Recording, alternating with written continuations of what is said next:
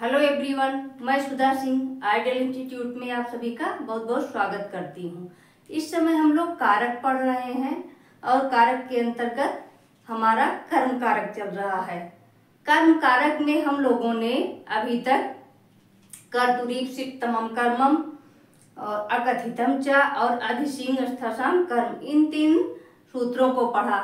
आइए देखते हैं चौथा सूत्र हमारा। चौथा सूत्र है कालध्वनोर अत्यंत संयोगे।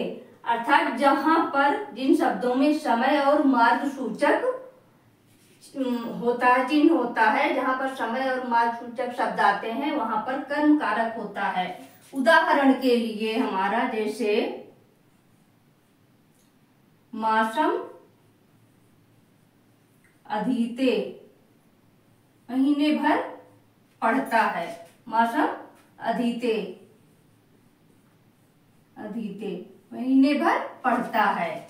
मासम कल्याणकारी। पूरा महीना कल्याणकारी है। मासम कल्याणी। मासम कल्याणी, पूरा महीना कल्याणकारक है। क्रोशम कुटिला नदी। क्रोशम कुटिला नदी। क्रोशम कुटिला नदी, एक कोष तक नदी टेढ़ी है। मासम अधीते महीने भर पड़ता है मासम कल्याणी, पूरा महीना कल्याण कारक है। क्रोशम कुटिला नदी एक कोष तक नदी टेढ़ी है। एकम क्रोशम पर्वता अस्थि, एक को, एक कोष तक पर्वत है। एकम क्रोशम पर्वत अस्ति। एक कोष तक पर्वत है। पर्वत अस्ति। यहाँ पर समय और मार्ग सूचक दोनों शब्द आए हैं, इसलिए इसमें कर्म कारक का प्रयोग किया गया है। नेक्स्ट सूत्र है हमारा उपान वध्यांग वसाह यानी वश धातु के पहले उप अनु आधि और आंग वर्ष धातु के पहले उप, अनु आधि और आंग शब्द आए। तो वहाँ पर कर्मकारक का प्रयोग होता है। उसके आधार में द्वितीय विभक्ति होगी। जैसे मोहना ग्रहम उपबसती उदाहरण के लिए आइए देखते हैं। मोहना ग्रहम उपवसति।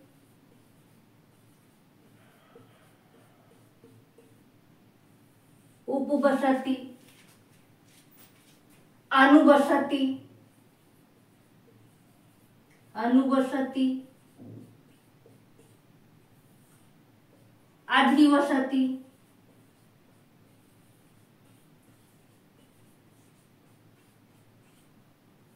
अधिवसति।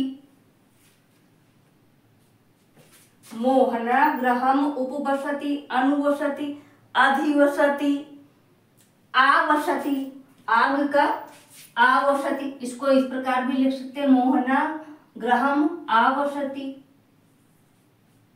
आंग का मोहना ग्रहम आ वसती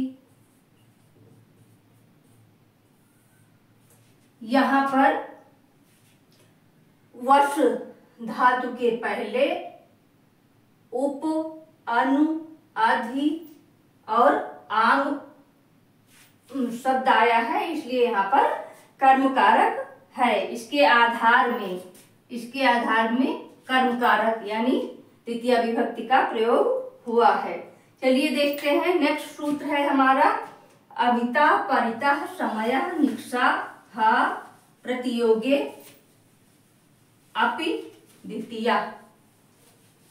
नेक्स्ट है हमारा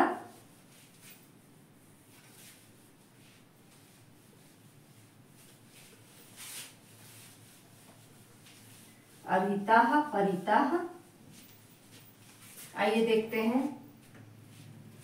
नंबर छह पे है हमारा। अभिता परिता समय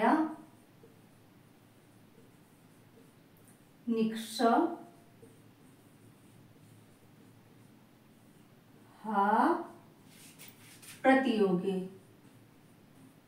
प्रतियोगे अपि द्वितीय।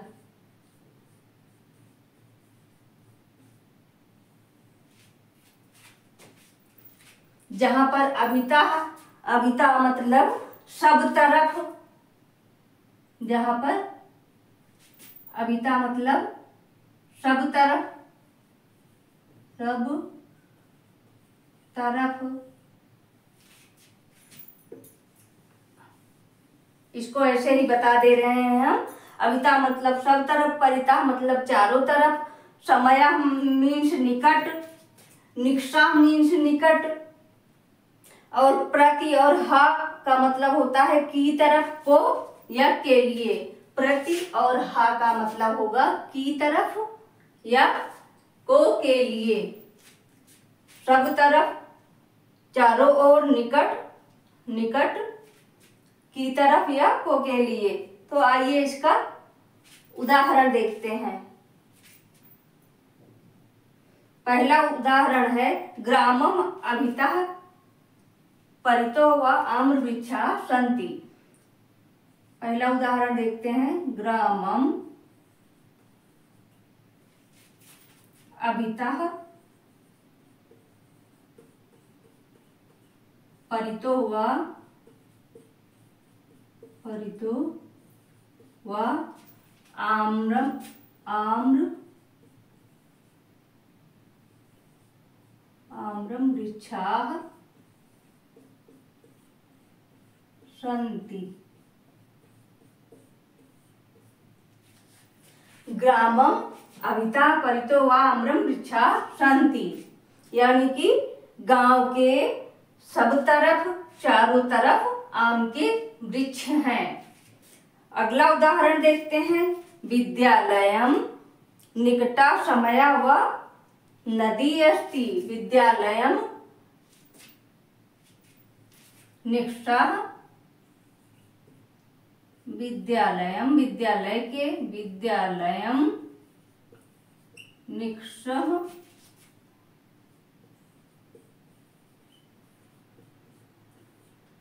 समय व नदी अस्ति। विद्यालय के निकट नदी है। नेक्स्ट है, हा प्रतियोगी अपि का जो है, उदाहरण व्याज्ञा हरिणाम प्रति अपश्यति, व्याघ्रा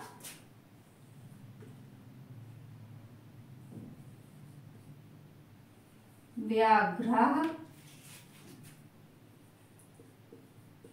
हरिणाम प्रति अपश्यते। व्याघ्र हरिणाम प्रति अपश्यति। यानी व्याघ्र ने हिरण को देखा।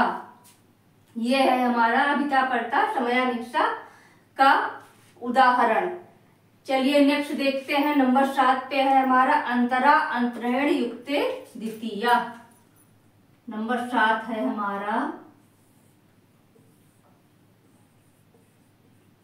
अंतरा अंतरेण। अंतरा अंतरेण युक्त द्वितीय। युक्ते द्वितीय। अंतरांतरेण युक्ते द्वितीय। तो आइए देखते हैं अंतरा मतलब बीच में, अंतरेण मीन्स बिना। के योग में द्वितीय विभक्ति होती है। अंतरा अंतरेण युक्ते द्वितीय, जहाँ पर अंतरा और अंतरण शब्द का प्रयोग किया गया हो, वहाँ पर द्वितीय विभक्ति होती है। आइए उदाहरण देखते हैं। जैसे अंतरा ताम माम हरी। उदाहरण देखते हैं। अंतरा ताम माम हरि। यानी कि हरि हमारे और तुम्हारे बीच में है। हरि हमारे और तुम्हारे बीच में है। आप लोग इसको ध्यान से देख लीजिए। नेक्स्ट है अंतरेण हरिम न सुखम। अंतरेण हरिम न सुखम, यानी कि हरि के बिना सुख नहीं है। अंतरेण हरिम न सुखम। हरि के बिना सुख नहीं है। ये हमारा हो गया अंतरा अंतरेण का उदाहरण। इसको हम मिटाकर आगे बढ़ रहे हैं। उम्मीद करते हैं आप लोगों ने ध्यान से इसको देख लिया होगा। चलिए, आइए, आगे देखते हैं।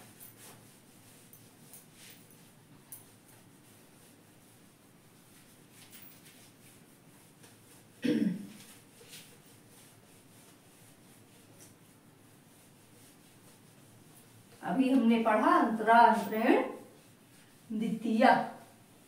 नेक्स्ट सूत्र है हमारा अनुक्ते कर्मण द्वितीय। नेक्स्ट सूत्र है हमारा अनुक्ते अनुक्ते कर्मणि द्वितीय। अनुक्ते मतलब जो ना कहा गया हो। यानी कि कोई भी कार्य अपनी इच्छा से किया गया हो तो वहाँ पर अनु कर्म कारक का प्रयोग होता है।